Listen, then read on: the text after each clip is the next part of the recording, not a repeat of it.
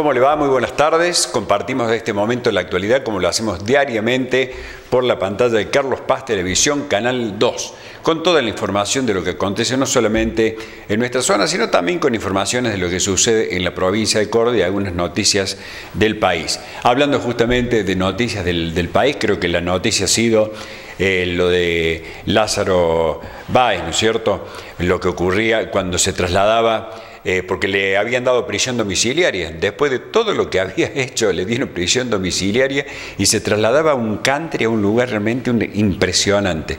Bueno, ¿qué pasó? Que todos los vecinos que viven allí en el country no le permitieron la entrada. Estaba la policía allí en el lugar, pero no le permitieron la entrada. Le bloquearon el lugar para que entrara Lázaro Báez y tuvieron que trasladarlo nuevamente a la penitenciaría. Habrá que ver qué va a pasar en las próximas horas, pero si uno se pone a pensar, es una verdadera vergüenza de que justamente este hombre, con la cantidad de casos que tiene, le hayan dado prisión domiciliaria y dice que el country donde él iba, la casa, una casa imponente, impresionante, realmente increíble el tema de la justicia en la República Argentina. Y lo vemos con este caso. Por eso los vecinos no quisieron saber absolutamente nada de que ingresara. Se sentaron en la calle, hubo manifestaciones, no permitieron que la policía pasara por el lugar. Bueno, esto ocurría, reitero, ayer en Buenos Aires y habrá que ver qué es lo que ocurre en las próximas horas. Si va a permitir la gente que ingrese o no, yo creo que la gente se va a mantener en esa posición de no dejarlo entrar. Por el momento sigue en la penitenciaría Lázaro Báez. Vamos a continuar nosotros, eh, creo que esta sea una noticia rimbombante, más allá de la información que tenemos permanentemente del COVID-19, que lamentablemente sigue avanzando en la República Argentina y en algunos lugares con mayor cantidad de contagiados, como el caso de, de Buenos Aires de la provincia de Buenos Aires, del Gran Buenos Aires, de Capital Federal, ha crecido también en Santa Fe, en Jujuy, ni hablar, en, el sur, en Río Negro, en Córdoba también tenemos casos. Y hablando justamente de esto, el caso de Cosquín, que lo hemos venido comentando del geriátrico, y justamente dueños del geriátrico de Cosquín han presentado un amparo tras el brote de COVID-19. Julián Basaldúa, abogado del geriátrico Parque de Cosquín, anticipó que presentarán un amparo contra la provincia tras no recibir respuesta del COE ante la situación epidemiológica que vive el establecimiento. La semana pasada se detectaron 53 casos de COVID-19 en el geriátrico en el que viven 80 adultos mayores. Dice, estamos en una situación angustiante porque desde que dieron positivo los casos, tenemos 43 residentes con coronavirus. Anoche solo pudimos trasladar a la clínica Sarmiento a 5 pacientes. ¿Qué pasa con el resto? Ese es el problema, que es lo que argumenta justamente este abogado. Así que habrá que seguirlo muy de cerca para ver qué es lo que pasa con esto. Un tema realmente importante.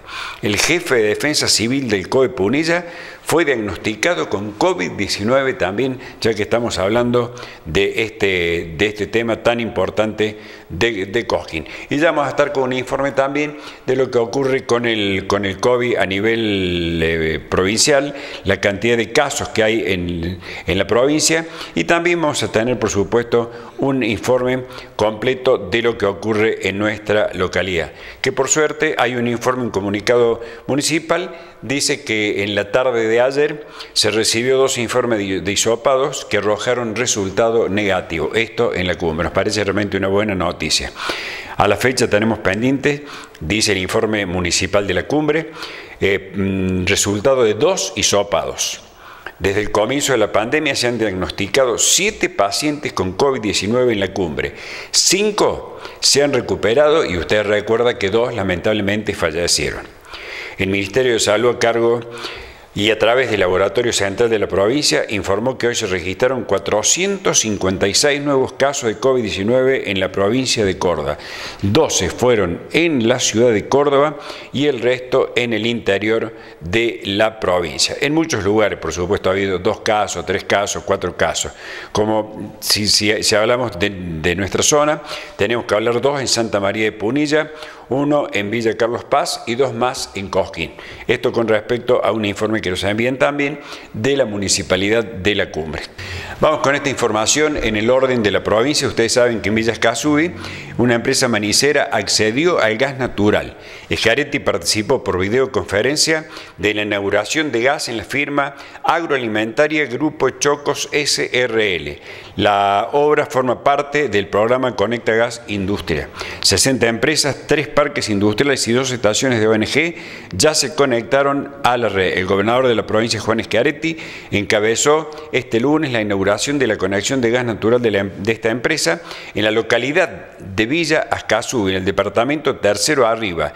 La obra forma parte del programa Conectar Gas Industrial que comprende la llegada del servicio esencial a emprendimientos cordobeses a través de los gasoductos Nos vamos con las imágenes de lo que ocurría, reitero, con esta importante inauguración.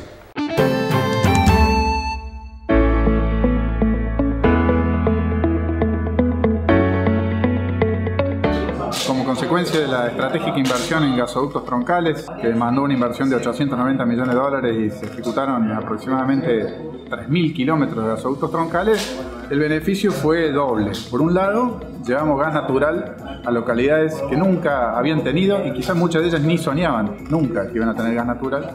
Y otras que tenían gas natural, pero que teniendo tenían imposibilitado su expansión. Y el gobernador es a través de su participación en la videoconferencia siempre lo señala, siempre lo indica, esta estratégica obra que vino a cambiar la estructura competitiva y la estructura energética de nuestra provincia está permitiendo, y así lo vemos en todos los lugares que estamos recorriendo, por un lado mejorar la calidad de vida de los habitantes y la verdad, estas obras, como bien lo dice el gobernador, van a terminar siendo la historia de Córdoba como el tren. Eh, cuando el tren llegó a muchas localidades, la vida, la historia, el desarrollo, el progreso, el futuro de ese pueblo cambió. Bueno, este es un paso que estamos empezando a ver de cómo el interior de nuestra provincia, sumándose a la red de infraestructura gasífera más importante de nuestro país, está empezando y sumando a la transformación cordobesa de la mano de empresarios, generan trabajo, generan progreso y hacen que nuestra Córdoba, sin ninguna duda, vaya a salir fortalecida y vaya a salir muy bien parada hacia adelante, superando esta crisis que nos, nos afecta a todos los argentinos.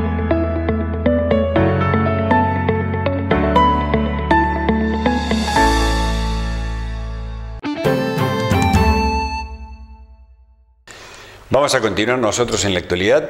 Nos vamos ahora a Capilla del Monte. Ustedes saben que una importante reunión se llevó a cabo en Capilla del Monte por el tema de inseguridad, donde participaron, por supuesto, el intendente municipal, jefes policiales, como así también eh, de los centros vecinales, un delegado de cada centro vecinal, porque está bastante preocupada la gente de Capilla del Monte por el tema de la inseguridad.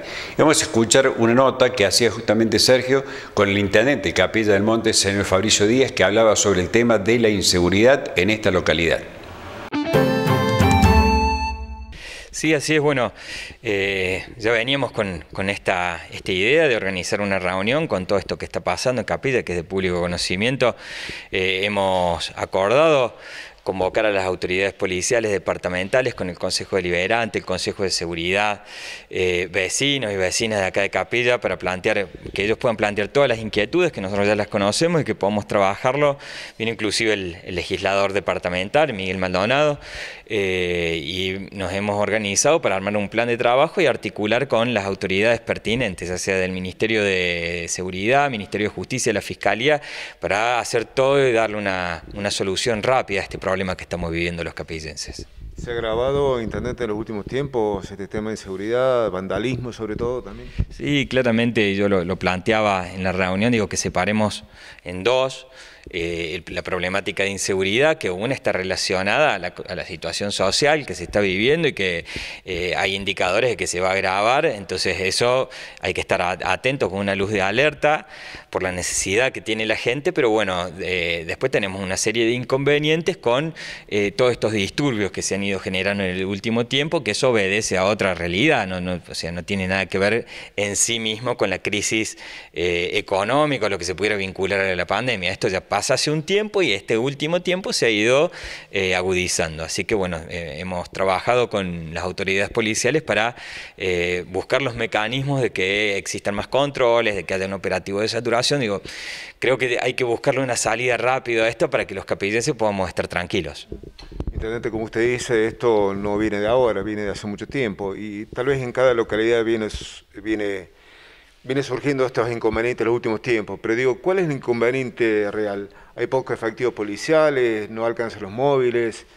Eh, ¿Qué tendría que ser para ser más efectivo y que no haya tantos disturbios nocturnos? eso es un, diagnóstico de hoy. Hoy hemos recibido toda esta información y le hemos aportado a las autoridades policiales toda la información que nosotros teníamos eh, a, nuestro alcance. Es un diagnóstico que de repente darlo ahora sería inoportuno o no sería eh, pertinente. Me parece que el diagnóstico del policial lo tiene que dar la autoridad policial como también tiene que dar la respuesta. ¿Usted piensa que podría ser eh, posible que lleguen más efectivos policiales en los próximos tiempos? Tal vez un móvil más les haría de mucha, mucha ayuda. Todo depende del diagnóstico que tengamos de la situación delictual de Capilla. Entonces, reitero, digo, son dos cosas distintas. Una cosa es la necesidad que nosotros creemos que tenemos y otra cosa es la real, que tiene que darse por un montón de, indicadores. Eh, si es necesario que haya un móvil más, nos sentaremos con las autoridades policiales del departamento y provinciales a, plantear esta inquietud que hoy verdaderamente no la tengo. Si es que falta un móvil, faltan más eh, efectivos policiales, digo, tenemos que sentarnos a trabajar en eso porque de repente, optimizando los recursos que tenemos, probablemente podemos darle respuesta como se vienen dando en un montón de situaciones. Digo, eh, te puedo hablar de la gestión municipal, que es lo que me compete. Digo, con los recursos que tenemos, que lo planteé hace mucho tiempo, eh, con esta consigna de hacer todo lo que podamos, digo, se han dado muchísimas respuestas que capaz que eh, el análisis era, no, hace falta más gente, hace falta más máquinas, hace falta más herramientas, y hoy estamos dando respuestas. Digo, a la velocidad que nos permite la realidad administrativa, económica, las limitaciones de la pandemia, pero claramente es sentarse a trabajar organizadamente para que los recursos que hoy es de público conocimiento, que son pocos, no, es nada nuevo hablar de esto, tengan el mayor rendimiento posible. Te recuerdo algunas otras que hice con usted hace mucho tiempo ya, donde usted me reafirmaba de que la Cámara de Seguridad no era un no eran como efectivas para, en su momento para, para el tema justamente de seguridad. ¿Usted piensa o replantea el tema de la instalación o la posible instalación de algunas cámaras o municipales o policiales? Em, siempre están en, carpeta la posibilidad de las cámaras, tienen un costo muy elevado, es una inversión importante, que tenemos que analizar si para esta situación y lo que hemos estado discutiendo y eh, intercambiando ideas hoy es lo que va a resolver problemas, porque eh, las cámaras de seguridad eh, claramente que son una herramienta más al componente de la construcción de seguridad pública.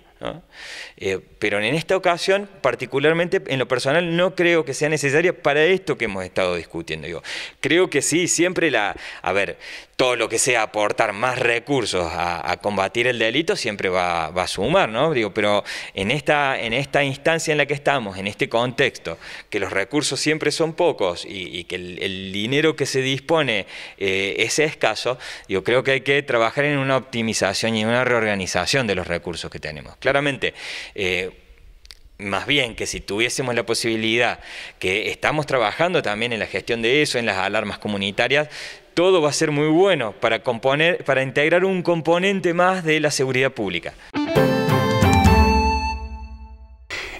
Era la palabra del intendente de Capilla del Monte, el señor Fabricio Díaz, que nos hablaba del tema que preocupa a los habitantes de esta localidad de la inseguridad, donde, como decíamos recién, estuvieron presentes jefes policiales y delegados de los distintos centros vecinales. Quiero mandar un saludo muy especial a quien está cumpliendo años en el día de hoy. Lara Cepeda está cumpliendo años, así que le mandamos un feliz cumpleaños de parte de todos los primos y de parte nuestra también, Lara, que tengas un feliz cumpleaños, que lo pases muy bien. Nosotros nos vamos a ir del padre, por supuesto, de Mario.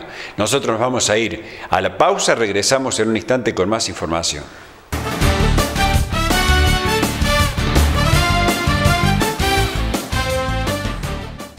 Los cordobeses estamos en situación de incendio extremo.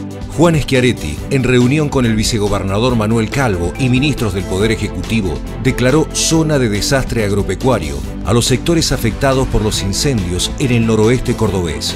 puso a disposición todos los recursos necesarios para abordar la situación ante los incendios e informó que se brindará ayuda a los productores, asistencia por daños materiales para familias y comercios, entrega de alimentos para ganado y a la vez se trabajará en la restauración ambiental.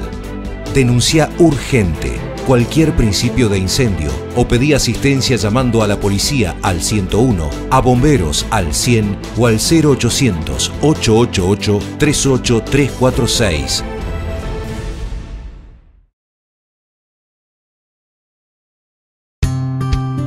Mandrágora, almacén natural y orgánico. Somos el almacén natural más completo del valle y los distribuidores de orgánicos más grandes de la provincia. Mandrágora, Rivadavia 387, La Cumbre. Teléfonos 3548 590 183 y 351 367 8679.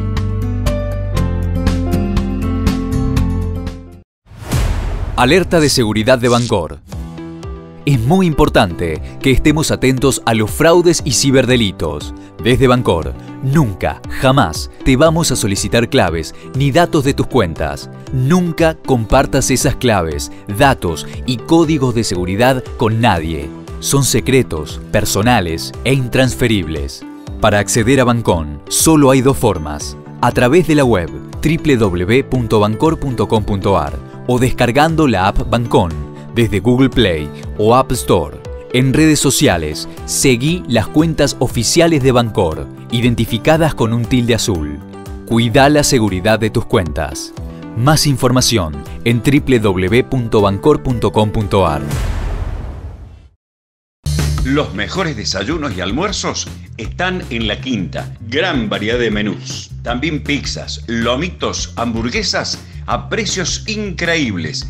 Hacé tu pedido a los teléfonos 3548 413 332 y 3548 468 669.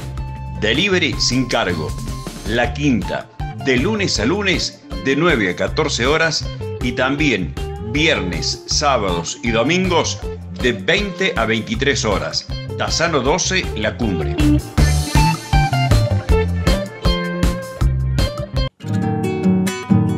Carnicerías El Rafa. Carnes de primera calidad. Especialidades de la casa. Chorizo de cerdo con queso y morrón. Lengua a la vinagreta. Hamburguesas de pollo y carne.